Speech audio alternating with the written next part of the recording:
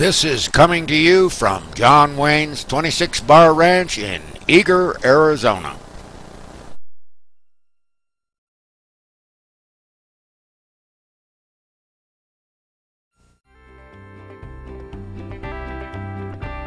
My name is William T. Brooks. I was born in Phoenix, Arizona in 1931. But most people just call me Chili Bill.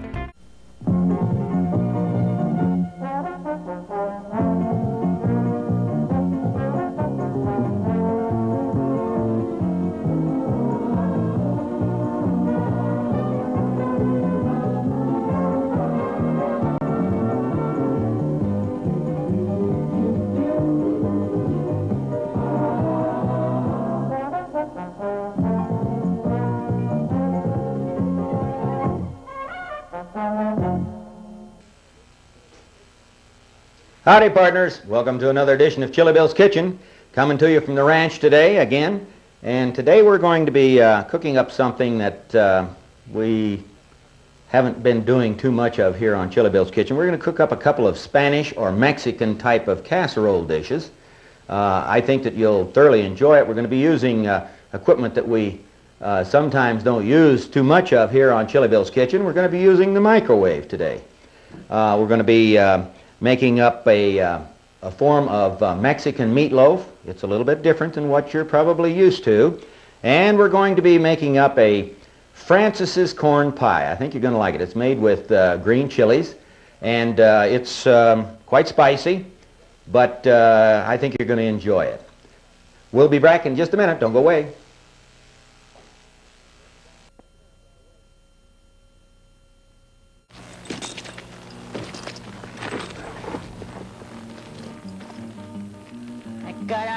Somebody stole my caballo. Don't I know you from some place? I'm Chili Bill, and we're doing a Man on the Range interview. And I would like for you to try some of this. Smells like chili. That's Chili Bill's Championship Chili. You'll find that recipe and many more in If You Like It Hot. Town, send for it. See? Well, as you can see, I'm using a recipe book today. Um, I'm going to use it for the basic recipe for the uh, meatloaf. This is called Mexican meatloaf, and it's uh, quite spicy. And I'll use a basic recipe uh, for a, a, good meatloaf, and then I'm going to show you how to add the other ingredients to make it the Mexican meatloaf. First thing we're going to have to do is I've got to go get some meat over here out of the refrigerator. And we're using um, ground chuck today. And uh, I don't like to use, you know, too fat of meat when you're making up meatloaf. You need to, uh, you know, you need to uh, use a halfway decent meat. Because if you don't, then the fat rises to the top. And it doesn't look too good, and it, uh, you know, it's not too good for the la panza. So today we're using a nice lean cut of, um, of uh, ground chuck. This is ground chuck today. And all I'm going to do is here, I'm going to use my old bean pot here as the mixing bowl. I'm going to put that in here, break it up a little bit here. And we'll, I, ha I have um, a pound and a half is what I have here. So, you know, if you want to make a bigger one, uh, you can uh, double up on it. But uh, today we're using a pound and a half. That makes a pretty nice size one. You can serve about four to six people with uh, this meatloaf this way. Let me get this a little bit more here. Now remember, this is a pound and a half of meat. I'll break this up just a little bit here. Okay. Just one more second here, and I'll get into the next ingredients. And the next thing we're going to have to do is to um, put in, let's see, it says over here I've got to uh, put in two eggs. I've got my two eggs right here. Uh, the eggs, you know, that, that's kind of your, uh, your glue. It kind of sticks the thing together when it cooks. So we're going to put in two eggs. Put them right in there like that. And one more right here. And let's see, the next thing we've got to do, let me get rid of that, put it over there, there we go. The next thing we have to do is I've got to uh, make up some, uh, some uh, crumbs to go in here. Now if you're using, um, normally if you're doing a uh, regular meatloaf, um, you know, you're using either cracker crumb, crumbs or uh, real fine breadcrumbs. Today, we're going to use some uh, corn chips. Now, you know, you can make up your own corn chips, or if you um, uh, don't want to go to that much trouble, then what you do is just buy a good brand of corn chips. Now let me reach back here for old Busthead. And uh, what we're going to do is we're going to break them up. There we go. Just break them up nice. Well, that's shaking that up nice. There we go. We want them fairly fine. There we go. The sound man's really liking that, I bet you. All right, here we go. That should be enough there. Let's see, what do I need? I need, um, I think I need uh, breadcrumbs. I need a quarter of a cup. Uh, these are not breadcrumbs. These are chips. We're going to put in about a quarter of a cup. That looks like a quarter of a cup right there. That's all we need of those. I've got enough here for two or three more. All right, the next thing I need, let's see, I need um, an onion. Let's see, I've got it hiding over here. All right, we're going to cut this. This is a, uh, a small onion. This isn't a large onion, so it's what we're going to do is just take a small onion. I like to peel off that, uh, that outer layer like that. See, it comes right off if you do it properly. And what we do then, I'll just cut it in half like this, and we're just going to finally chop that onion up. Let's move this over here like that. There we go. Okay. Now I've got some room to work. There we go. We're going to finally chop that onion up.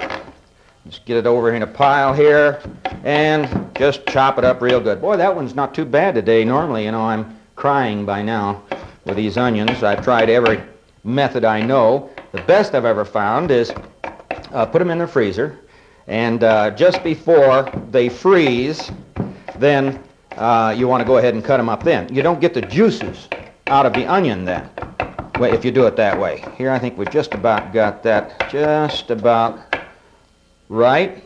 Okay, now I can't find my scraper today. I, let's see here. Thought I had it here somewhere, but I'll find it during the break here. I'll just have to use my hands, okay? What we'll do is I'll just add the onions in there. There we go. Now I'm getting the onions. Now I'm getting the onions. Okay, well, you shouldn't do this with a knife, but I'm going to cheat just a little bit today. There we go. Okay, what's the next thing we've got to have here? I've got to have um, some uh, Worcestershire sauce. I think I pronounced that right. I'm sure not. did. Okay, see there? I'm practicing. I got to go over here and get some of it. Here we go. All right. Whoop. Onions got me. And we need, um, let's see here. We need two tablespoons. Worcestershire sauce. I didn't do it that time. Okay, two tablespoons here. One. Two. Okay. Now the next ingredient. Now remember, this is the basic uh, meatloaf that we're making now. And then we're going to add the other ingredients to it. Okay, the next thing I need is um, some black pepper. I know I've got some black pepper here someplace. What'd I do with that darn black pepper? Hold on just a second. I'll find that black pepper. And there we are right here. Okay. We're going to put in, uh, what I'm going to do now is just put in a little bit of black pepper. I'm going to put in a quarter of a tea, quarter of a teaspoon? No? One quarter of a teaspoon. There we go, right there. All right. Now, that is the basic um, meatloaf. Now we're going to add in some of the other spices here. Uh, first of all, we're going to add in um, some oregano. Oreg Wait a minute. Hold on just a second. Uh, I forgot my, my bell pepper. Let's do the bell pepper here. I get the insides out of it like that. And we're going to use about, oh, we'll use about half of this bell pepper. And let me get this stuff out of the way. And what I'll do here is I'll just cut up the bell pepper in strips first, like this. There we go. Now, just turn the strips around, and we're going to dice them. Just, just go ahead and dice those bell peppers up. Uh, you know, you might want to try to make them real fine if you want to, but uh, um, it doesn't really make any difference. It has great flavor. Bell pepper has a great flavor, uh, and it is a type of chili. You know, bell pepper is a type of chili, but it's very mild.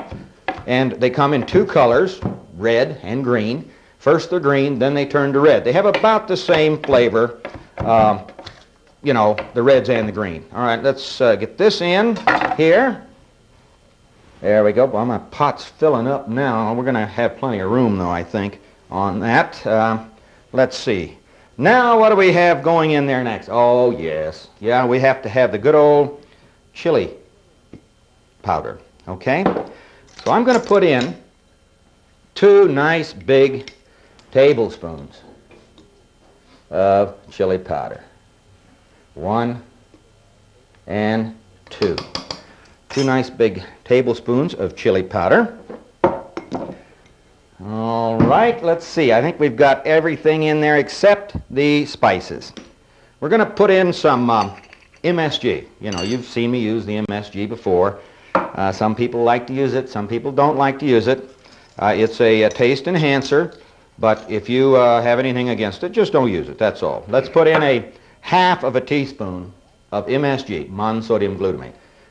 All right, and we need um, oregano oregano or oregano, depending on how you want to pronounce it, the English pronunciation or the Spanish.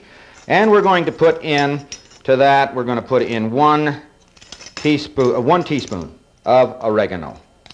Boy, I've got to fill these bottles up. I'm just almost down to the point where I don't have too much left in here. Now, cilantro. Remember cilantro? Cilantro is uh, the same thing as coriander. Uh, the Mexican people call it, um, um, the Mexican people call it uh, cilantro, and the English call it coriander. All right, put in that. Now, uh, I've got one more ingredient that I have to do here. Let's see if I can find it real quick. And what we'll do, well, darn lid went in there. Well, I'll get that out later. Now, what we're going to do now is I keep a stock of these, and I use them when I mix my meatloaves. I uh, kind of uh, get purloin these from my brother-in-law that's a doctor. And uh, what we're going to do is I'm going to really mix this up real well. All this does, of course, is keeps your hands from getting too greasy and so forth. I'm going to mix this up real good here. And when we come back here, in oh, you know, about a minute or so, we'll get this going into the microwave. And uh, then we'll start on the other a dish that we're going to do today, which is Francis corn pie. Be right back.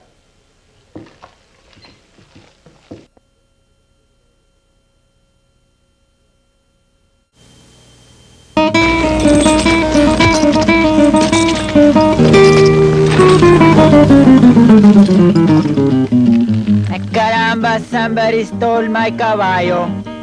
Nobody stole your caballo tomato. He took off and became a lawyer after tasting Chili Bill's famous championship chili. Well, I know you from some places. I'm Chili Bill, and we're doing a man on the range interview to find out how many of you good folks out there like your chili hot and spicy. That's the way I like mine. Plenty of hot stuff in it to keep my mustacho curled. Here, tomato, try some of this and become a lawyer too. Smells like chile. Hey, you're getting smarter already, Tomato. Good chile. Of course it's good. It's Chili Bill's chili, and those of you who like it hot and spicy can enjoy all those good recipes you've seen Chili Bill and his guests cook on Chili Bill's Kitchen Show by going to your local trading post or bookstore and picking up a copy of his famous recipe book, If You Like It Hot. See? Or you can order it direct by sending your money order. Well, we're still mixing up this concoction here. I did forget to put some things in. We're going to have to really roll now because um, of the fact that uh, I've got to make this other dish for you here. What we're going to do is I have to put in my old uh, firecracker, you know. This is the uh, uh ground up jalapeno. And what we're going to do is I'm going to put in I'm going to put in one teaspoon of jalapeno. That's just ground up. I do this in the, uh, I take the whole jalapenos and then I put them in the blender. And it usually runs my wife out of the house when I do it because, you know, it gets in the air and floats around. Okay, and what else we're going to need is um, some shoyu, or as most people know it, soy sauce. Uh, this is shoyu. Uh, I usually use a very good brand of uh, the best I can find. I need two tablespoons of the shoyu or soy sauce. Now, for those, uh, you know, that want to use some salt, we use a little bit of salt too. Uh, if you want to cut down on your salt, uh, just leave it out. It, uh, the uh, uh, soy sauce has salt in it also. Let me just mix this up real good here. I think we've got everything on it. Yeah, everything's in. And what I need now is I'll get me a plate here. I'll get a plate and uh, what I need to do is with the plate is I need to um, I need to get a little bit of oil on the plate. Just a little bit of oil here. See if I can keep this off of me. There we go. Just a little bit of oil in there. Just, you know, kind of keep it from sticking on the bottom. That's all we're trying to do with the oil. Just kind of run that around the bottom of that plate like that. There we go. Okay, now we really get our hands into it. Uh, oh, what did I do? I forgot to put the celery in. Here's the celery. I got to put the celery in. Hold on. Don't go away here. I'm not getting everything together today. Let me get that celery in there real quick. There we go. I got the celery in, and I'll mix it up real good. Now we're going to make a great big ball out of this and uh, shape it into a ball, and then we're going to cook it in the microwave. That should be pretty good, just about like that. I think we've got it pretty well mixed now. And this will be pretty spicy, you know. You've got that jalapeno pepper in there. You've got the um, chili peppers in there. And then all that good Mexican spice that we put in there. Now what we're going to do is, let me get this out of the way. Okay. I'm going to take it out. Now. There we go. There we go. Now. Make me a nice big ball of it here. Make sure we've got everything in it. There we go. Nice big old ball. See if I can get it up now. There we go. All right. Put that right there. We'll shape that thing down to fit in there properly. Like that. Pat it down. I guess my operation's over now, so I can, I can take off my operating gloves here. Now what we're going to do, I'm going to top that off with a hot sauce. This is good old Chili Bill's hot sauce. Now, some people may want to put some, um, I know people who put um, uh, tomato uh, paste. I know people that put um, um, ketchup on it. You make your own hot sauce. This just happens to be my hot sauce. I'm going to top it off with the hot sauce. Like that. There we go. Now, this is going to be spicy, you know. After all, that's what all this show is all about. Now we're going to top it off with a little bit of green peppers bell peppers. You know, I, I saved a little bit back, a little bit of bell pepper back. I'm going to put just a little bit of, of celery up there with it. It gives it that nice green and red color. And then I'm going to top it off with just a little bit of chopped olives. Just a little bit of chopped olives, like that. Now what we're going to do, I'll run right over here and we're going to put it into the microwave.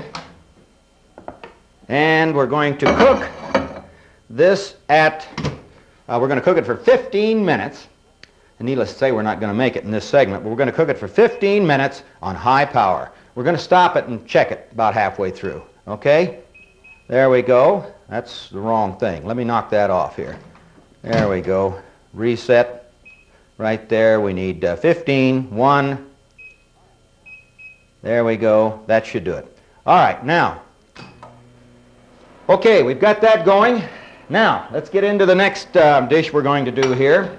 Let me get this cleared up real quick. We'll do the next dish here. All right, next thing we're going to do is Francis's corn pie. Now, to make the uh, corn pie, what we're going to need are two cans of cream-style corn. And we're going to need that's two cans of cream-style corn. And we're going to need two small cans of chopped green chilies. Chopped green chilies. These happen to be uh, one of the better brands. You can, you can hunt around sometimes and get some less expensive ones. All right. Now we're going to need, uh, I've got that. Now we need to, to add the black olives. We're going to put in two cans of chopped black olives. Just like that. All right. Now, to that, we're going to put in two cups, two cups of um, cheese. And this has been grated. and your two cups of cheese. You can use a white cheese if you want to, like a Monterey Jack or one of those. I kind of like the, the um, uh, Longhorn cheese. Put that in there like that. And I'm going to give it a little stir. You can see this is pretty simple. Boy, does this stuff freeze well, too. It's, uh, it's easy to handle, and it freezes well. Now, all I got to do is find me something to stir with. I know I have something around here. There we go. Okay, we're going to stir this all up. I think I have everything in there. Stir this all up. Like that. Okay. Hold on a minute. I'll get it stirred up in a second here. I should have put this in a mixing bowl, but I was trying to save uh, washing dishes today, I guess. So we just stir all of this up. You might want to put a little salt in it, but remember some of this stuff already has the salt in it, so uh, you might not want to, uh, to uh, get too much salt on it. Now we're going to do a similar thing to this. When I get this done here, there we go. We're getting pretty close to having it. Uh. Oh my goodness, I forgot. It wouldn't even hold together. Wouldn't even hold together if I didn't put this in. Okay, we got to put this in. We're going to need uh, we're going to need a uh, uh, half a cup of uh, this is plain old corn meal, and I like to use the yellow corn meal. We're going to put in a half a cup of it. Now, where's my half my uh, cup measure here? Let's see. These are um, these are four ounces. That's it. There we go. Just like that. All right. We'll give that a little stir. Mix that all up in there, and that's going to begin to make it a little firm, too. And uh, then we're going to cook this. We're going to cook this when that one comes out there. We're going to go ahead and cook this one uh, for uh, 10 minutes on 100% or full power and uh, it should be done. And then when, it's, when it comes out, what you have to do is you have to uh, let it set for about 10 or 15 minutes, and then when you serve it, it'll, it'll be uh, very firm. So this has to set. Don't try to cut it when you take it right straight out of the oven, because if you do that, you're going to find out that it's just going to fall apart on you. Okay, we're going to take a little break. We'll be right back in a minute. We're going to try some of this food. Don't go away.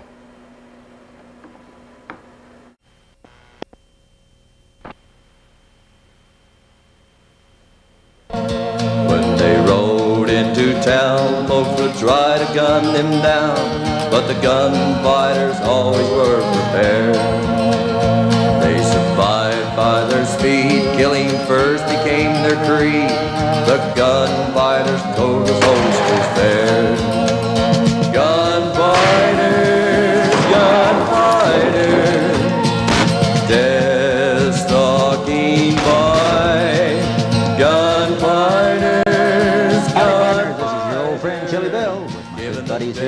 Juan and George Gabby Hayes Jr. who just took those falls for you a minute ago.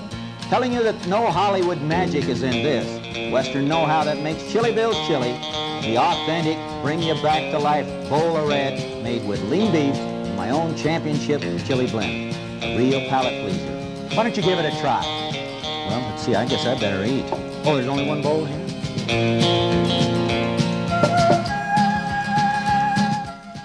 That's Chili Bill's Championship Chili. You'll find that recipe and many more in If You Like It Hot. Enchiladas, tacos, burros, barbecue. And if you can't find it at your local trading post, send for it. See? Well, we're back. I think we made it. Uh, I had to finish up some of the cooking on the corn pie. But um, what I did is I topped it off with um, some um, hot sauce, naturally. Put a little bit of hot sauce on top of it. I put, the, uh, I put a little bit of celery. I cut some fine celery and put it on top. And we cooked it for 25 minutes at, at 100% um, power in the microwave. And uh, uh, we turned it. We turned it at least twice during the cooking cycle. You have to turn the tray around. Okay, here's our, here's our, um, our um, nice meat here, and here's our corn pie here. And uh, I think I'm going to have to dip in here and try some of it. Uh, better get somebody to, to uh, come in here with me. Hey, hey, Shane, come on in here. Okay.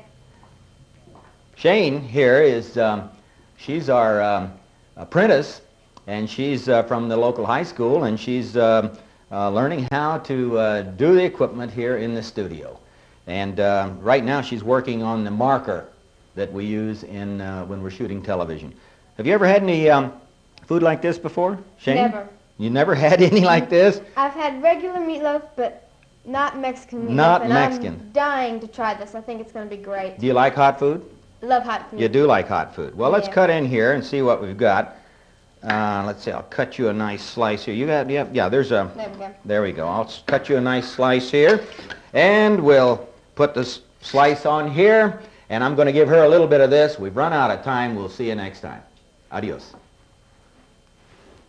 Okay.